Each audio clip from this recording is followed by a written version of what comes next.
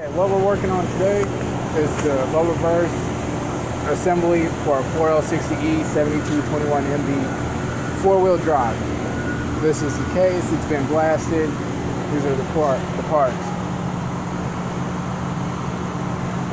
You got the uh, springs, friction clutches, sun gear, sun shell, sun gear right here, the piston, low one-way clutch, the uh, one-way clutch, springs, rollers, all the bearings right here, uh, check valve, case bushing size 24, 7, 10, and 12, I believe. These are for the, this one's for the uh, sun gears.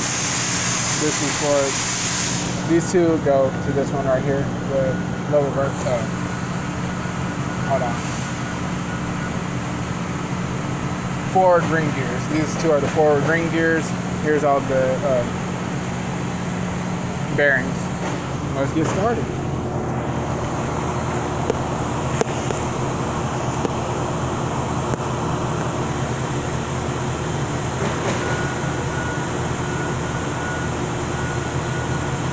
Alright, so what you start off doing first is I always start off with putting the one more clutch in. You'll do that. Make sure the tiny holes are facing up.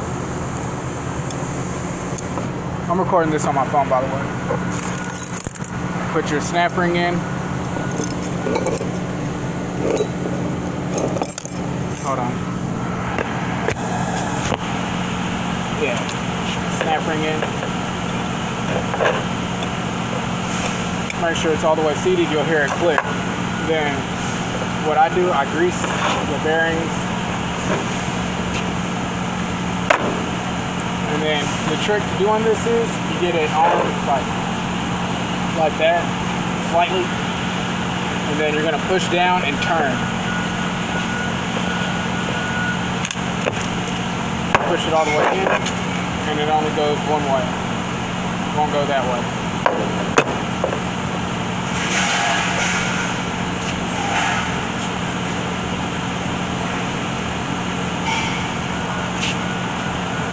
Check valve, this piece, just grease it a little bit. Set it right there and there. Set it in that and then you're gonna hit it in.